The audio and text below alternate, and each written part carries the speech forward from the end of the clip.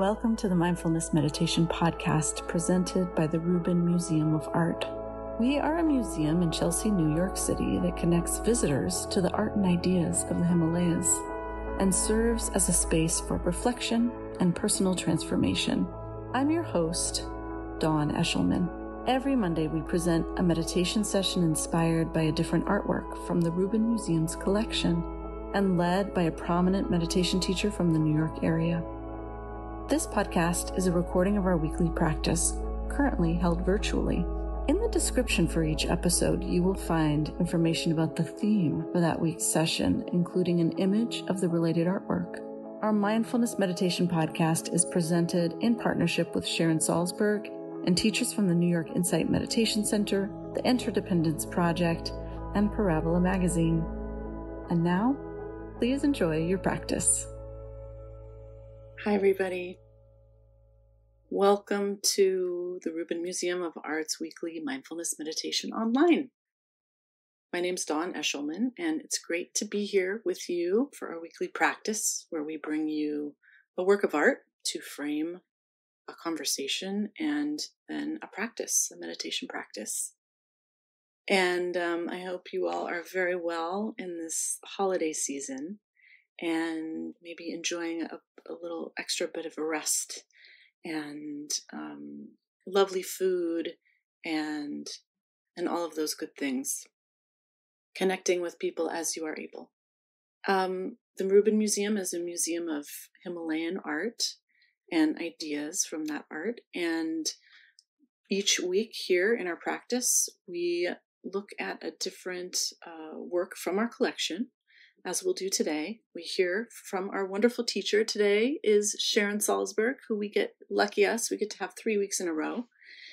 And then we'll sit together for 15, 20 minutes. So thanks for joining us from all over the place. It's really a beautiful benefit of practicing online is coming together with people who are, are joining us just really literally from all over the globe. So let's look at the artwork that we are um, we're, we're sharing today we're looking at this beautiful painting, which is white Tara with long life deities. And we're bringing this to you today within the context of our theme for the month, which is generosity. And as a female Buddha, Tara works for the benefit of all beings. So, kind of embodies this idea of generosity or compassion, as we might uh, more commonly say when thinking about Tara. And this form, known as white Tara, bestows longevity, so long life. And her right hand rests on her knee, in fact, displaying the gesture of infinite generosity. And the left hand holds a stem of a lotus blossom that then kind of sneaks around and, and blooms over her shoulder there. So the reverse of this painting is also really interesting, so we've included it here. Here you can see a depiction of a stupa with a mandala drawn in its dome and handprints, and these are uh, handprints of a Buddhist master. And prayers and dedications written in gold on the stupa's body state that this painting was commissioned by Yeshe Lobsang Tenpa. He dedicates the merit of the painting's creation to preventing untimely death for longevity and prevention of, of dangers for all sentient beings, and asks to bestow the blessings of a long and auspicious life. So we'll hear more about this idea of generosity from our speaker today, Sharon Salzberg. Before I bring her on, I'll just let you know that, as many of you know already, that Sharon is the co-founder of the Insight Meditation Society in Barre, Massachusetts, and she's guided meditations worldwide for many years. She's the author of some beautiful and practical and useful books, including her latest, Real Change Mindfulness to Heal Ourselves and the World. So if you're looking to brush up and kind of retune your meditation practice for the new year, check it out. We're so delighted to have her be part of many of the Rubin's programs. So please welcome Sharon Salzberg. You're there. Okay. hey, how are you? I'm well. How are you? I'm good. I'm, I'm well too. You're Thank in the you. clouds again. Here I am floating Rubin style. I'll hand it over to you. Thank you. Thank you so much. And thank you all for for joining us. It's uh, I, I've often said, I've probably said here as well that I'm I'm very um, fond of New Year's Eve. I'm very tuned into it, even though I know it's just a construct that that we've created. Uh, it's always been a meaningful thing for me, and I've said I'm very lucky as a, a Buddhist, a Jew, and a Westerner. I get three a year, so uh, we're about to hit one, and um, it's quite a, a moment of consideration of our values, how we can be happy, um, maybe happy again, things that are are really troubling, and uh, even uncommon paths or paths to happiness that aren't necessarily so conventional or ordinary. And I actually think of generosity in that light.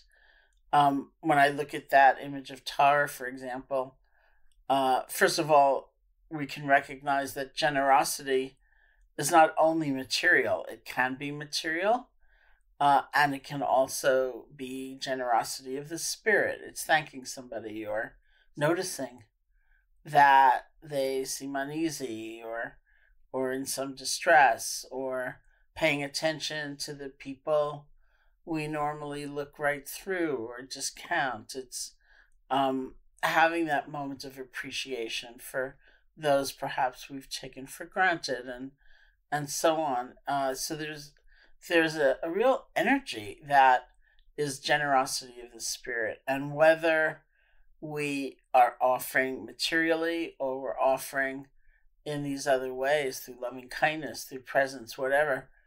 Um, I think the common belief is that that's going to leave us at a loss. We're going to have less than we had before uh, will have expended something that is a finite resource.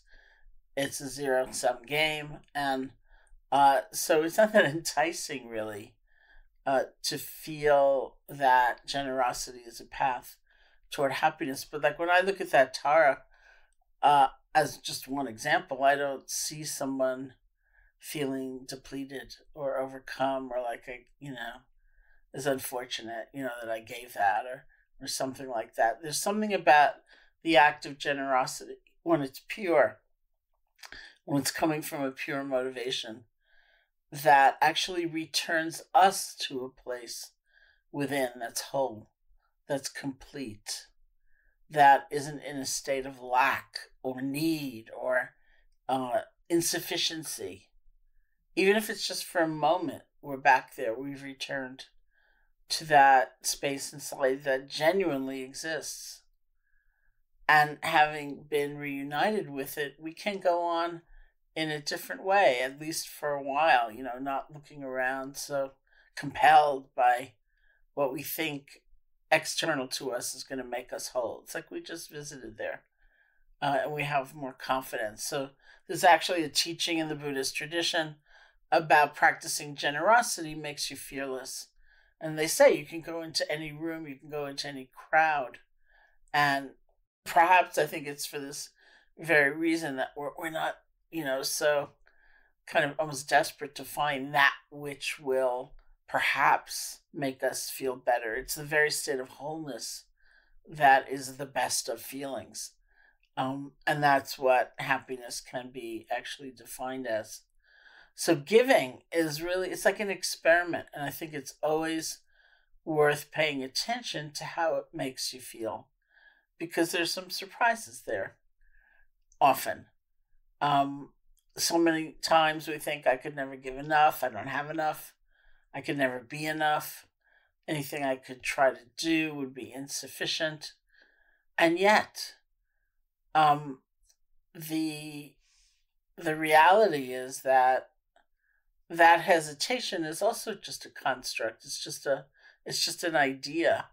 And that I was just reading about some research um, by uh, David Lim at Adelphi University about how uh, people who have gone through a lot of adversity in their lives, people who have gone through a lot of challenge in their lives, are often very, very generous because they realize that even the small, seemingly small thing makes a difference because they have been on the other side of that. They've experienced that it makes a difference when someone stops and thanks you or recognizes you in the dignity of your of your being or offers you something whatever it might be uh, material that you know from the point of view of the giver the conditioning the habit is often that like eh, you know uh, couldn't really make a difference but from the point of view of the recipient who's struggling in some way it makes a difference. And i just found that fascinating that that this is being researched now. So giving is a practice. It's an experiment. It's trying it you know not to the point of folly. And for those of you in New York, I always say never give away your rent control department. If we even have rent control departments anymore, I don't know. But um, you know, it's not that you're trying to harm yourself or your family, but often we can stretch and just see what it's like. The other side of giving, interestingly enough, is is in a way it's like giving to oneself. Uh, it's being able to receive and even for people who are interested or willing to make the experiment in giving to others, whether material or or generosity of the spirit, they might have a harder time actually with the notion of giving to oneself, which is receiving. You know, whether it's offering loving kindness to oneself, offering self compassion, and that um, you know, self compassion particularly arises in times when we've made a mistake or we've lost sight of what we really care about or lost sight of our aspiration or uh, it's exemplified, it's embodied in the meditation practice that we're going to do soon with how do we speak to ourselves when we realize our attention has wandered? You know, we sit down with an intention, perhaps, as one method to settle our attention on something like the feeling of the breath. And then lo and behold, we're redecorating an apartment in New York City we actually don't have something like that. And then there's a moment when we realize that. So, how do we relate to ourselves after having blown it? That is really the critical moment, we say. And and that has to do with the generosity of having some compassion for ourselves, giving ourselves a break.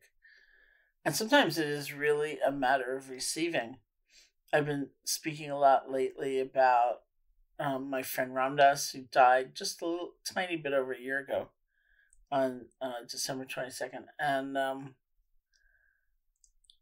he had a you know, very significant stroke, maybe 19 or 20 years before he actually died and subsequent to the stroke he he only lived in a wheelchair and he had aphasia he had you know quite uh, some difficulty uh, in giving lectures and things like that um, in terms of very long pauses and um, and yet he was teaching you know he went back to teaching um, when he'd recovered enough and he moved to to maui he lived in maui for the rest of his life and so in order to see him, in order to be able to teach with him, we you know used to go to Maui, which was not really a terrible hardship, and uh, teach with him. And I remember sitting in the back of the room once one year. So this is well into the time of uh, his having had the stroke. And Ram Dass was speaking, and he said, you know, the hardest thing of all, subsequent to my having a stroke was having to get help from other people. He says harder than the physical pain, harder than living in a wheelchair, harder than the, the change in speech. He said it was the hardest thing of all and it was the most liberating. And then he went on to say, you know, one of my famous books is called How Can I Help? And he said, now I feel like writing a book called How Can You Help Me? Which I thought was was pretty great. And it's quite fascinating for me. Like I'd known Ram Dass since January of 1971, which is when I did my first meditation retreat ever. Seems to me I'm about to hit an anniversary. Um, and he was there as another student, and, and you know through many, many, many years we practiced together in you know Hawaii, Burma, and all over the place, and and I had tremendous admiration for him, especially as a pioneer. He was the first person I knew who was working with homeless people. He was the first person I knew who was working with people who were dying. He was the first person I knew who was working with people in prison, and and so he had that kind of energy. And then yet, it was only toward the end of his life that you could feel that barrier toward receiving actually crumble. And because there was like no internal barrier, he was a helper, but he could also take love in and care in. It felt like he was made of love. He was made of light. It was an extraordinary difference. And I think that a lot of that was uh, at the root of that. And so I often think about that balance giving, which can be a practice and needs to be an experiment, I think, and also receiving, which might make us feel kind of uncomfortable. And I would say, in a time like ours right now, where it's so hard for so many people, knowing that it's okay to receive, it's okay to ask for help, is actually a very crucial thing. And uh, so much is stigmatized in our society, uh, or society in general um, being not totally in control, being afraid, uh, having some suffering of some kind. Um, you know, there's so many things that, or so many things are kind of stigmatized in a little bit of a different direction, like kindness. You know, that's stupid in the eyes of a lot of people and in a lot of our conditioning often. And so it really takes a lot to to challenge um, such broad based conditioning. And yet here we are with that opportunity because because of a practice, precisely because of a practice that has us look really at whatever our experience is in a different way. So let's practice a little together. You can sit comfortably, close your eyes or not, however you feel most at ease.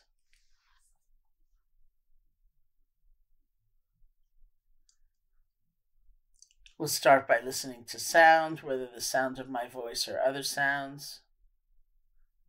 It's a way of relaxing deep inside,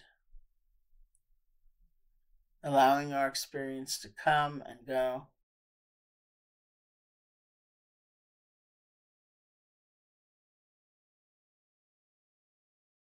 It's like the sounds wash through you, unless you're responsible for responding to a particular sound let them arise and pass away.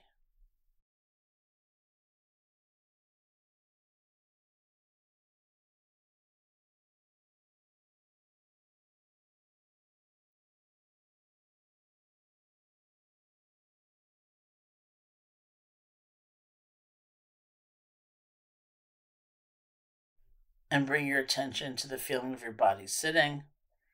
Feel the earth supporting you.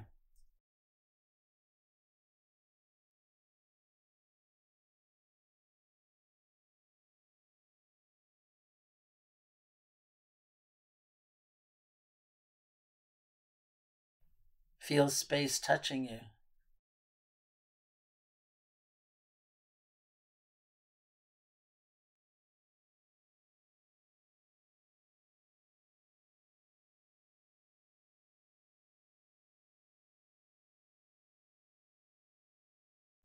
Bring your attention to your hands.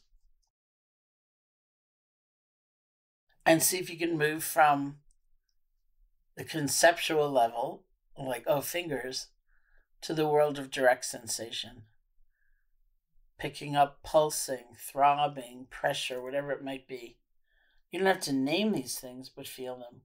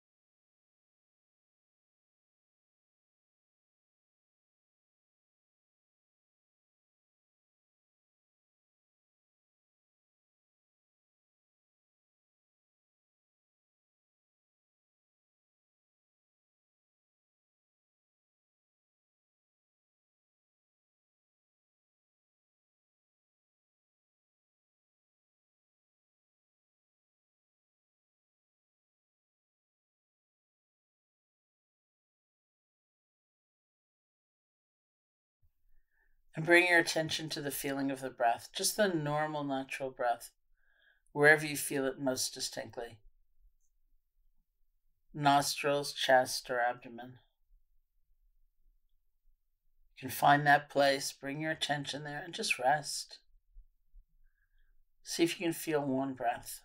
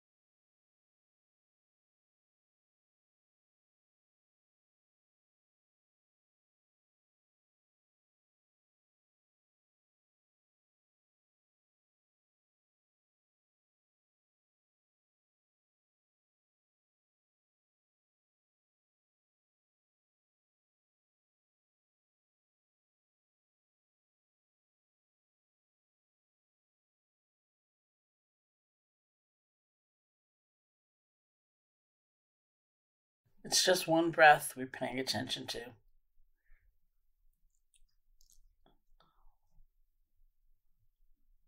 You don't have to be concerned with what's already gone by or lean forward for even the very next breath. It's just the normal, natural breath wherever it's strongest for you.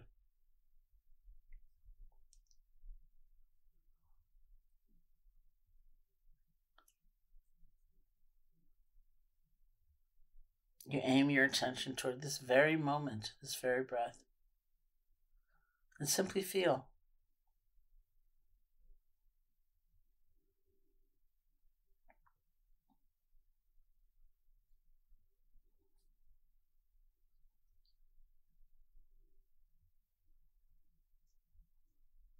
And should you find your attention wandering, you get lost in thought, spun out in a fantasy, or you fall asleep, that's the moment for a little generosity toward yourself and some kindness.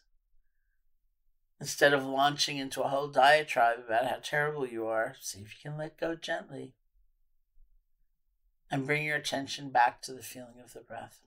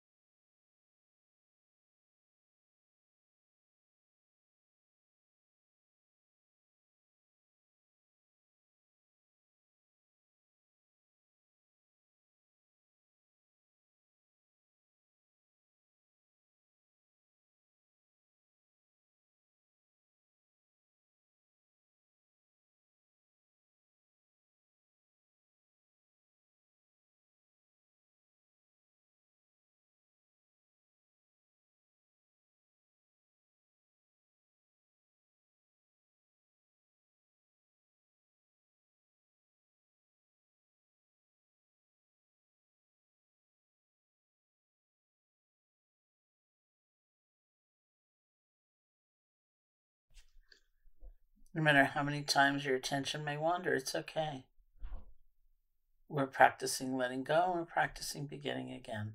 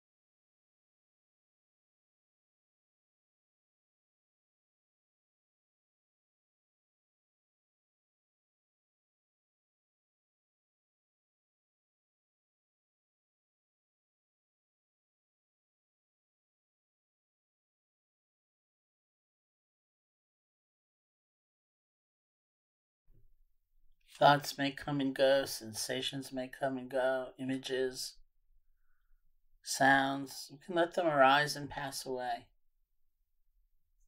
We'll just rest our attention on the feeling of the breath.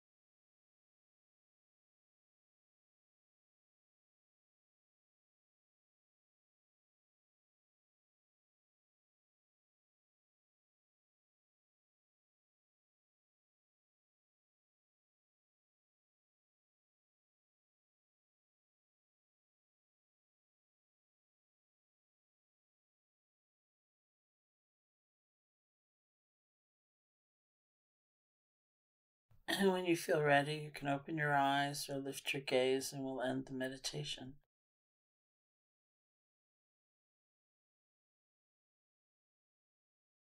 So thank you all so much for that. Thank you, Sharon. Thank you, everyone. Wishing you a wonderful, peaceful new year, and we will see you in January. Take care. That concludes this week's practice.